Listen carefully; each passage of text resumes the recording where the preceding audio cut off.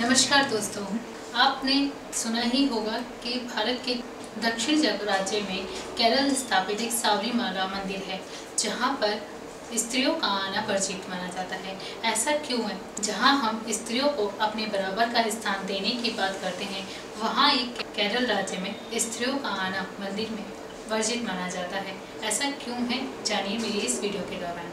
मंदिर के अंदर 10 से 50 वर्ष की आयु की महिलाएँ मंदिर में प्रवेश नहीं कर सकती। कहा जाता है 10 से कम छोटी कन्याएँ मंदिर में आ सकती हैं और 50 वर्ष के बाद जिस महिला की मासिक धर्म बंद हो जाते हैं, वही महिलाएँ मंदिर में प्रवेश कर सकती हैं। नंबर एक, अयप्पा। अयप्पा का नाम हरिहर मंदिर भी पड़ा हुआ है। हरि का मतलब है विष्णु, हर का मतलब है शिव। हरिहर इन दो भगवानों की पूजा की जाती है। हरि के मोहिनी रूप को बहुत पूजा जाता है। कहा जाता है, हरि के मोहिनी रूप को माँ भी माना जाता है।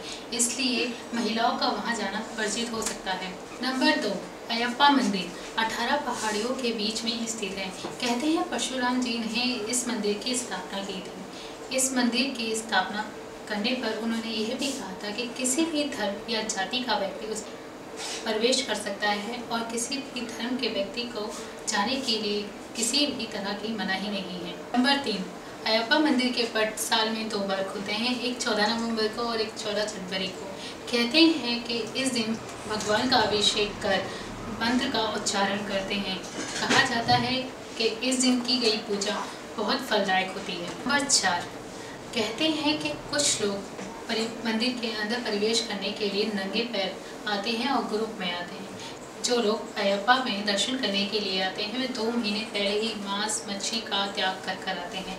और जो व्यक्ति रुद्राक्ष या तुलसी की माला पहनकर इस मंदिर के दर्शन करने आते हैं, कहा जाता है कि उनकी मनोकामना जल्द ही पूरी हो जाती है। नंबर पाँच, कहा जाता है कि मंदिर में दिव्य ज्योति का अपना एक अपना एक स्थान बना हुआ है। जो लोग अपने मन में श्रद्धा, भाव से आते हैं तो उन्हें इस दिव्य ज्योति के दर्शन होते हैं। भगवान खुद दिव्य ज्योति के दर्शन उन्हीं लोगों को कराते हैं जो लोग मन में लालच, क्रोध और मोह को छोड़कर इस दिव्य शक्ति के दर्शन करने के लिए आते हैं। उन्हीं लोगों को भगवान स्वरूप दिखाई देते हैं। तो ये थे कुछ ऐसे कारण जिनके कारण मंदिर में महिलाओं का आना प्रसिद्ध कहा जाता है। मेरी वीडियो को लाइक, शेयर एंड सब्सक्राइब करना ना भूलें।